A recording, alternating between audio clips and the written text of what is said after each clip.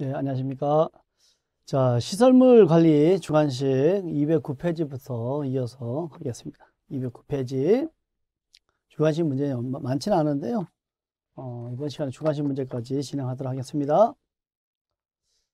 자, 첫 번째 보시면 공동주택관리법 명상 하자보수 보증금 어, 전 시간에도 많이 풀어봤죠. 2년차, 3년차, 5년차, 10년차.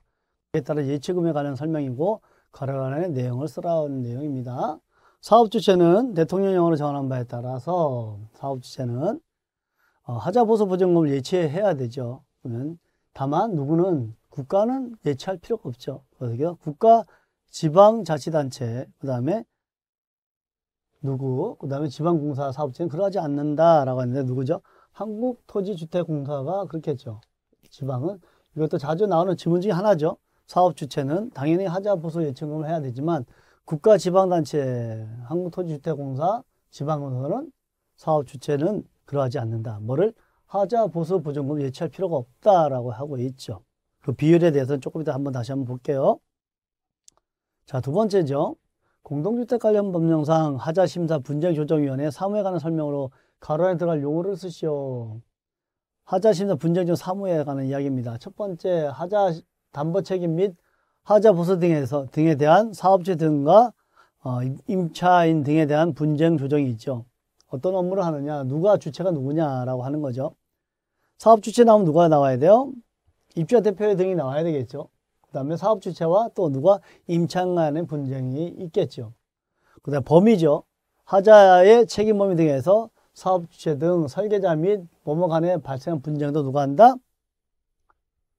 하자심사 분쟁조정위원회에서 하죠. 여기는 누가 한다? 감리자가 나오겠죠. 입주자 대표 감리자. 다시 한번 살펴보면 하자 담보 책임 및 하자 보수에 대한 사업주체 등과의 입주자 대표 등과 임차인 등과의 분쟁. 그 다음에 하자 범위에 대해서는 사업주체 등과 설계자, 감리자 간의 분쟁에 대해서는 누가 한다?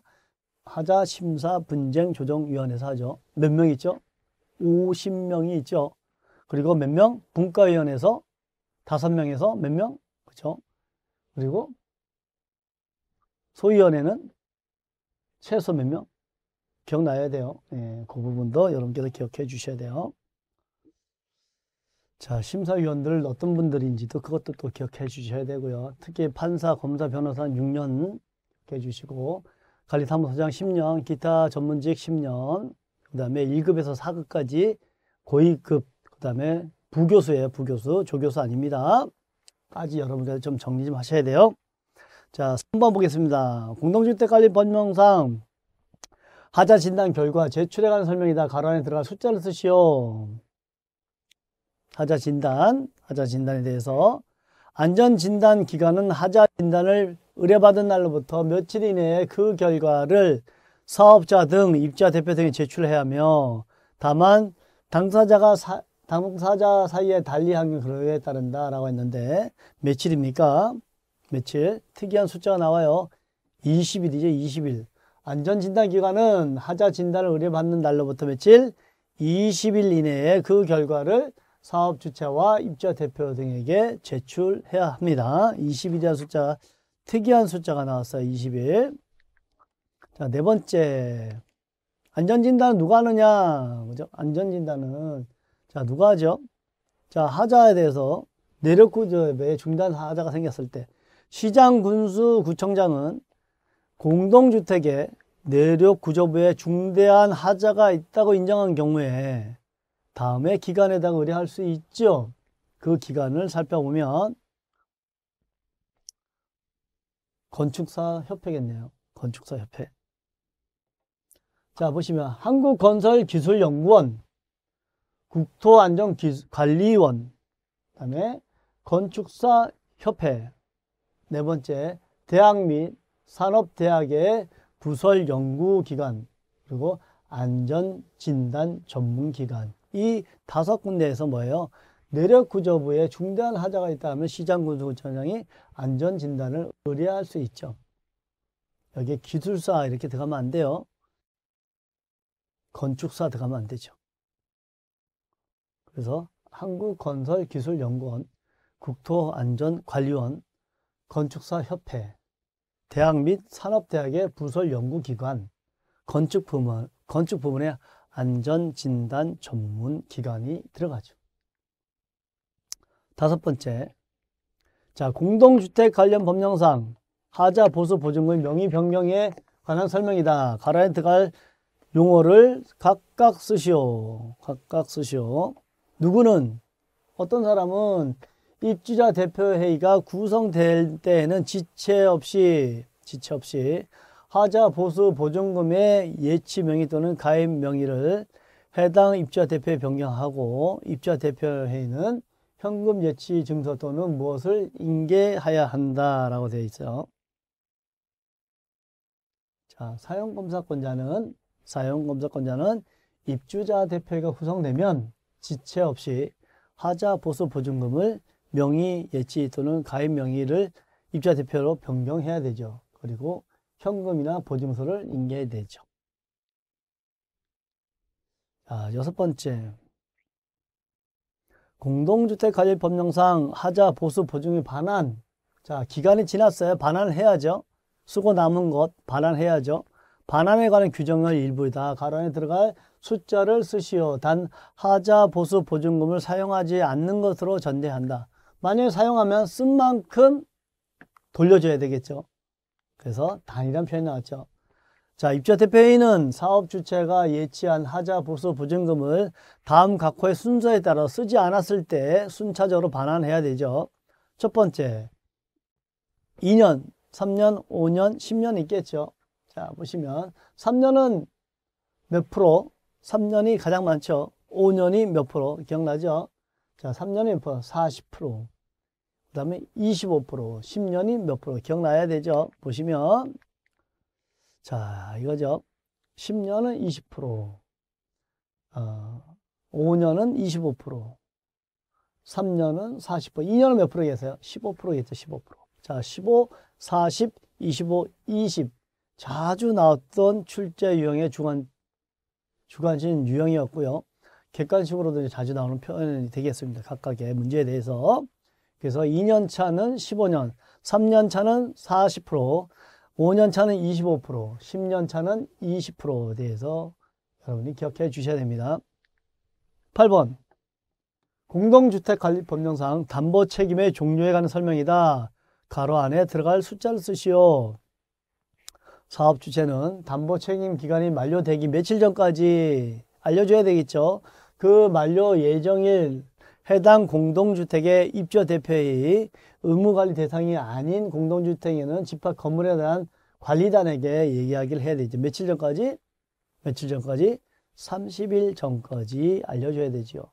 30일 전. 그리고 나서 20일 동안 게시해야 된다는 사실도 기억해 주셔야 돼요. 자, 9번. 공동주택관리법령상 하자심사 분쟁조정위원회에 관한 설명이다. 가로 안에 들어갈 숫자를 각각 쓰시오. 각각 쓰시오. 위원장과 공무원이 아닌 임기는 몇 년으로 하되? 2년으로 하되 연임할 수 있으며 보궐 임기는 전이제 남은 기간으로 한다. 몇 명이었어요? 총 50명이었죠. 50명. 50명이 하자심사분쟁위원회로 들어갈 수 있었죠. 자, 10번 문제. 공동주택관리법령상 장기수선 계획 수립에 관한 내용이다. 가론에 들어갈 숫자 용어를 쓰시오. 장기수선 계획서 몇 세대 이상은 공동주택에 건설 공급하는 사업주체는 대통령령을 전하는 바에 따라서 그 공동주택에 뭐를 뭐뭐에 대한 장기성 계획서를 수립해야 한다.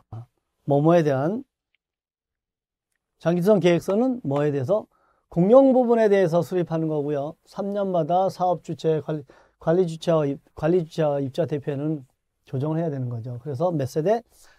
답은 300세대 이상이면서 공동주택을 건설 공급하는 사업 주체는 공용 부분에 대해서 이게 전용 부분으로 하면 틀린 질문이 되겠죠. 공용 부분에 대해서 장기성 계획을 수립해야 된다. 그래서 공용 부분이기 때문에 누구한테 걷는다? 소유자로부터 돈을 걷는 거죠. 관리비를 걷는 거죠. 그래서 관리사무소 소유자부터 걷고 나중에 정산할 때는 관리비에 장기선, 장기선 충당을 나가다 보니까 세입자가 내게 되면 나중에 정산을 해주죠. 그래서 장기선 계획 금액이 얼마인지 즉시로 확인해주고 그 결과에 따라서 정산해주면 되는 거죠. 그래서 장기성 계획서에 공용 부분의 장기성 계획서는 300세대 이상이면서 이상인 공동주택, 승강기가 있는 공동주택, 지역 난방이 있는 공동주택에 대해서는 뭐 한다? 장기 수성 계획서를 해야 돼, 뭐 해야 된다? 작성해야 돼요. 어떤 부분에 대해서? 공용 부분에 대해서 해야 된다. 그 3년마다 입주자 대표 관리 주체는 장기성 계획서를 수립해야 된다. 조리, 어, 조정해야 된다. 그 얘기죠. 그리고 입주자 동의를 받는 경우에 입주자의 과반수 동의를 받는 경우에는 하자 진단 감정 비용도 사용할 수 있다 없다? 사용할 수 있다. 입주자 대표 의결이 아닌 장기성 충당, 장기성 충당금은 소유자의 과반수가 있는 경우에도 하자 진단 및 감정에 대해서도 돈을 집행할 수 있다. 입주자 대표 회의가 아니에요. 입주자 과반수예요. 자 11번 보겠습니다 자, 공동주택관리법령상 장기성 계획 수선 주계하는 가로 안에 들어갈 내용을 순서대로 쓰시오. 전 시간에 저기 봤어요. 난방 설비 보일러 전면 교체 수선 주계 몇 년? 보통 5년부터 있죠. 30년까지. 5년, 10년, 19, 9년, 15년, 20년, 30년 되게 있죠. 지붕의 시멘트 액체 방수 모르타 마감 전면 수리의 수선 주기는 몇 년이다? 몇 년인가요? 자, 15년이죠, 15년. 15년이고 10년이 되겠죠. 15년이고 10년 되겠죠. 난방 설비의 보일러 전면 주기는 15년, 시멘트는 10년 되겠죠. 자, 12번 보겠습니다. 마찬가지로 순서 소화 설비 중 소화 펌프 전면 교체 수선 주기는 몇 년이고 스프링클러 헤드 전면 수리는 몇 년? 자, 20년하고 25년 되겠죠. 자, 주기는 소화 설비 중 소화 펌프의 전면 교체는 수준 20년이고요. 스프링클러 헤드 전면 수리는 25년이죠. 자, 스프링클러 헤드가 우리 소방법에 의해서 어, 현장에 가시면 여러분들 이제 놀, 놀라는 게 뭐냐면 스프링클러 헤드가 세대에 있어요, 세대. 세대에 있는데 스프링클러가 세대에서 청소하다가 그거를 스프링클러 헤드를 건드려서 파손되는 경우가 있어요. 간혹 있어요. 그러면 물이 분사가 되죠. 그러면 그 단, 그 세대는 어떻게 해요? 적겠죠. 뭐, 난장판 되죠. 뭐, 그 터지면 그 수압이 엄청나니까 삽시간에 뭐, 거실, 안방 다 젖죠. 다 젖습니다. 어떻게 될까요, 여러분들? 일단은 물이 터졌으니까 빨리 잠궈야죠. 어디 가서 잠궈야 되나요? 직원들이 그걸 잠궈야 되는데 그 위치를 모르면 난리 나는 거죠. 그리고 피해가 발생되면 그 처리해 줘야 되잖아요. 그런 부분은 여러분들 현장에 있어요. 자, 스프링클러 헤드 나오니까 그런 일이 생겨나네요. 자, 그래도 해결하는 방법이 있습니다. 현장 가시면. 네, 보험도 있고 여러 가지가 있어요. 그런 것들을 통해서 해결하시면 돼요. 다만, 어, 스프링클러가 세대에서 터졌다라고 하면 우리 관리 주체, 우리 직원들이 그러면 이거를 대응할 수 있는 방법, 어딘가를 빨리 잠궈야 되겠죠. 그걸 위치를 알고 계셔야 된다는 거죠. 그게 이제 우리 관리 주택 관리사로서 그런 안내를 다 우리 직원들한테 안내해 줘야 될 부분이죠. 자, 13번 보겠습니다. 13번 공동주택 관리 법령상 장기성 계획에 관한 규정이다. 괄호에 들어갈 숫자 용어를 쓰시오. 무엇과 무엇은 관리 주체는 장기성 계획을 몇 년마다 아까 금방 얘기했어요. 3년마다 검토하고 필요한 경우 이를 국토부 령으로 정하는 바에 따라 조정하여야 하며 수립된 조정된 장기성 계획에 따라 시설물을 교체 보수해야 된다라고 하고 있죠. 그래서 뭐는 누구와 누구는 13번은 입주자 대표 회의와 관리 주체는 두 사람이죠. 입주자 대표 관리 주체는 장기 수송 계획을 3년마다 검토하고 비용을 수반해서 주민 동의를 받을 때는 수시로 3년이 가기 전에도 조정할 수가 있죠. 3년마다 기본적으로 하고 비용을 수반할 때는 3년 가기 전에 조정할 수 있다. 그 동, 조건은 입주자의 입주자 등이 아닌 입주자의 가반수 동의가 있는 경우에 가능하다라고 하는 거죠. 자, 14번 보겠습니다. 공동주택관리법 시행규칙 제7조 수립 기준에 대한 내용이다 들어갈 내용, 숫자, 들어갈 내용을 용어를 쓰시오라고 했습니다. 자, 입주자 대표 회의와 관리 주, 주체는 공동주택관리법 제29조 제2항 및 사망에 따라서 장기 수선 계획을 조정하는 경우에는 에너지 이용 합리화법 제25조 25조에 따라서 산업통상부 장관, 장관에게 등록한 에너지 전략 전문 기업에 제시하는 에너지 전략을 통한 주택의 뭐를 감소를 위한 시설 개선 방법을 반영할 수 있다고 하죠. 우리가 알고 있는 온실가스죠. 온실가스. 온실가스에 대한 내용을 이야기하고 있죠. 그래서 온실가스 감소를 위한 시설 개선 방법도 반영할 수 있다라고 했죠. 추가적인 부분에 있죠. 어디에? 어, 시행규 제7조 D 하단에 있어요. 이 부분은. 자, 14번 보겠습니다. 14번. 어, 14번 봤죠? 이제 15번. 자, 이 문제 한번 풀어볼까요? 이 문제도 저번에 풀었던 것보다 똑같습니다. 다음 조건에서 공급 면적이 80제곱미터야. 세대의 월간 장기선 충당금을 구하시죠. 월 부과하는 금액을 구하라는 거죠. 월 부과하는 금액. 총 세대도 500세대고요. 그 중에 600이 200세대, 60이 200, 80이 300세대네요. 이 세대에 대해서 얘기하는 거네요. 총 공급 면적은 3만 6천. 이거 계산하면 3만 6천이 나와야 되는 거죠. 장기선 계획은 몇 년? 20년. 보통 우리 아파트 장기선 계획은 50년에서 60년 정도 하죠. 실제로 50년은 60년 하죠. 그 다음에 장기선 계획 총 수선비는 총 장기선 총액은 1억 6,200만 원이라는 거죠. 자, 정리를 하면 이런 얘기예요. 우리 아파트 총 관리비 부과 면적이 3만 6천이죠. 3만 6천인데 장기전 계획을 20년간 이거를 1억 6,200만 원을 부과하겠다는 거죠. 그랬을 때 세대에 얼마를 부과해야 되냐 이 얘기를 하는 거죠. 다시 한번요. 이거 소장님들도 잘 이해 못해요. 자 보세요. 내용을 보면 이 얘기예요. 우리 아파트 500세대가 있는데 500세대가 20년 동안 총 공급 면적이 3만 6천이래요. 그거를 그 단지에서 20년 동안 1원 6천 2백만 원을 20년 더 부과할 때 월 얼마씩 부과하면 되겠냐 이 얘기를 풀으라는 거잖아요. 그죠? 그 내용을 여러분들 이해하셔야 돼요. 이걸 이해 못하시는 분 많아요. 자, 내용을 이래요. 연간 수선비가 1억 2천, 6억, 1억 6천 2백만 원이고 공급 면적이 3만 6천이고 12달 동안 부과하는 거고 80제곱미터가 여기서 부과하는 금액 얘기하는 거죠. 만약에 전체는 3만 6천 나오면 되겠죠. 그러면 어, 세대 제곱미터 얼마 나오냐는 얘기죠. 여기는 3만 원씩 부과하면 얼마? 20년 동안 3만 원 부과하면 이 금액 거둘 수 있다. 요 세대에서 이야기하는 거예요. 전체로 하면 이게 전체가 나가면 되는 거고 요 세대하면 요 세대로 바꾸면 되는 거고 그래서 3만 원 되겠다. 이렇게 기억하시면 돼요.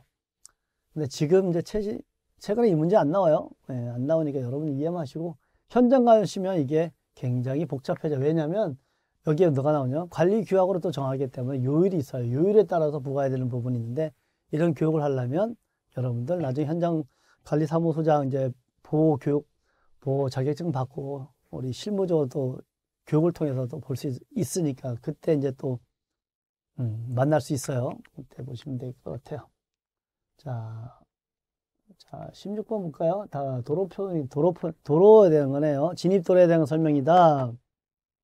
아, 여기 저 반사가 서잘 안 나오네요. 그죠? 6m, 그죠? 표에 있는 거죠, 표. 자, 표. 300세대 미만, 500세대 미만, 1000세대 미만, 2000세대 미만, 2000세대 미만. 여기 6m로 되어 있고요. 지금 화면상 잘 안 나와요.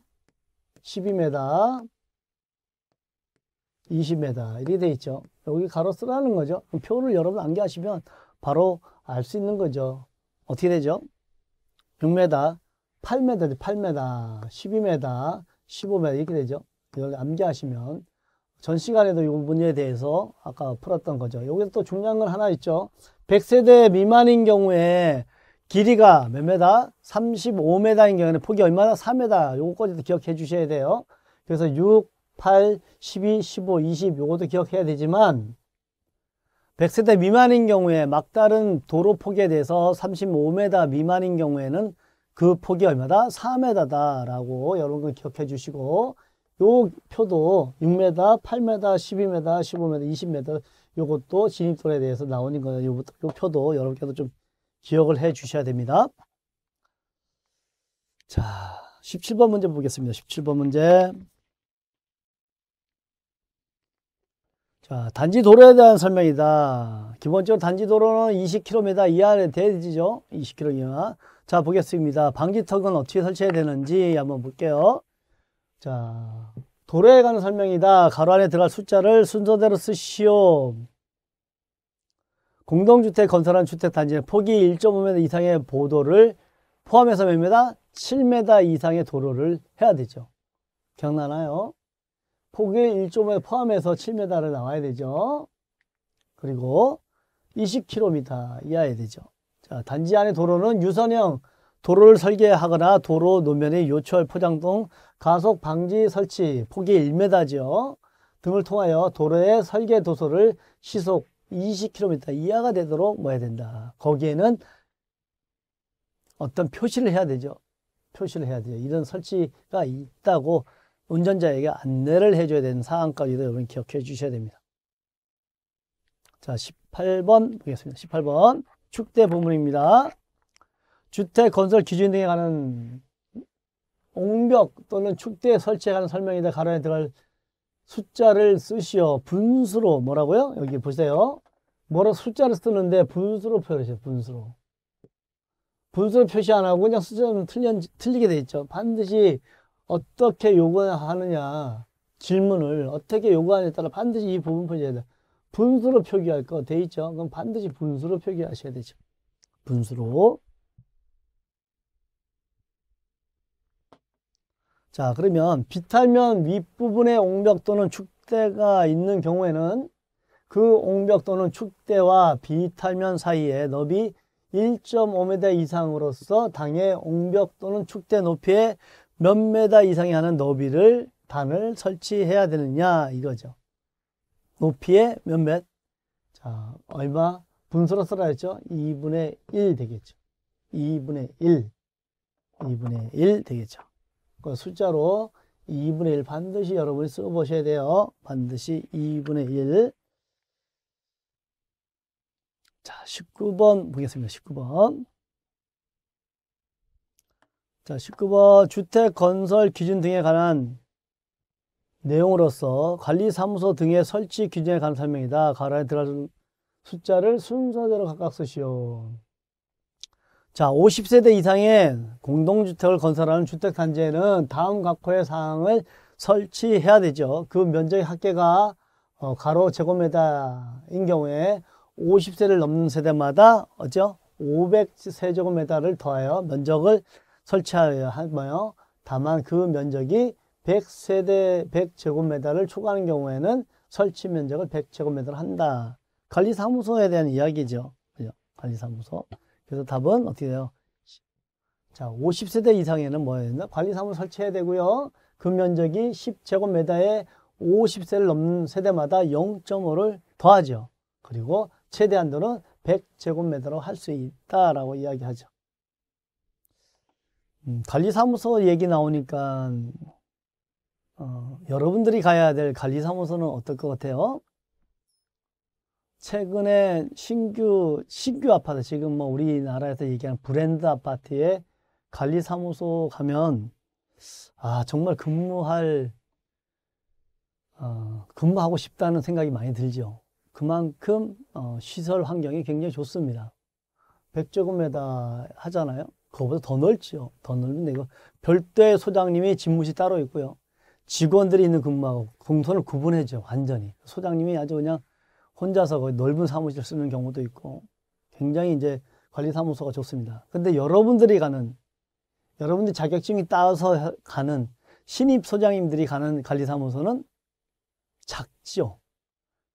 소장님하고 직원하고 눈앞에서 바로 볼수 있는 그런 환경에서 왜 오래된 아파트로 갈 수가 있겠죠. 거기는 그런 환경인데 최신의 신규 아파트 같은 경우는 관리사무소가 굉장히 좋습니다. 모든 책상이라든가 이런 것들 배치가 굉장히 좋고요. 그 사무 기구도 굉장히 좋습니다. 그런데 가서 근무하면 할만하죠.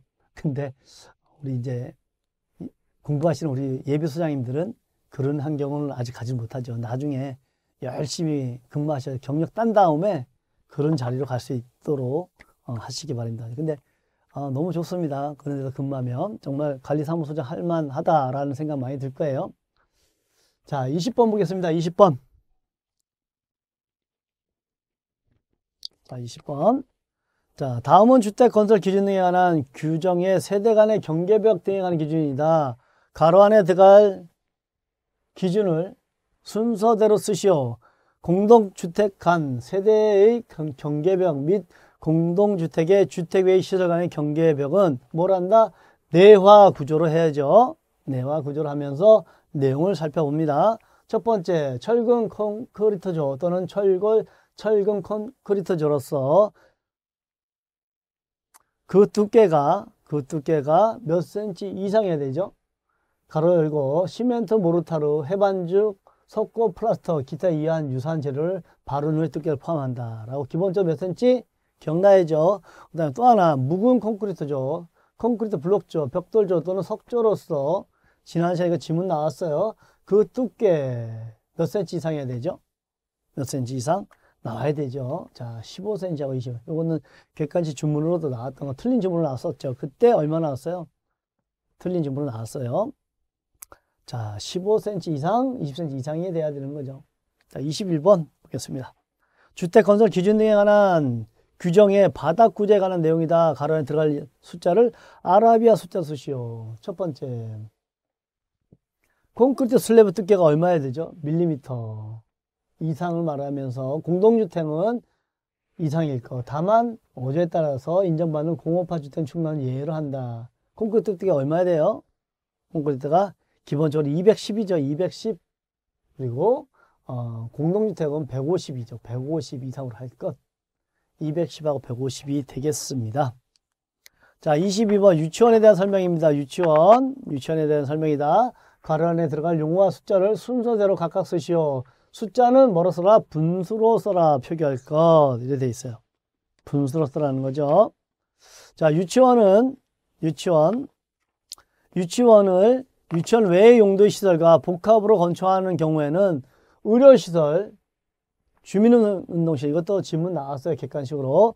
어린이놀이 시설, 그 다음에 또 하나 뭐죠? 종교 집회장이었죠.